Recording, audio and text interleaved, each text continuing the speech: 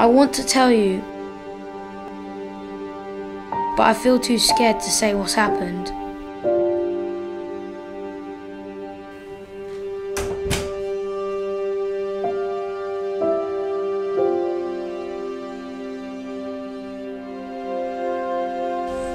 I want to tell you that I've been really hurt by people I know.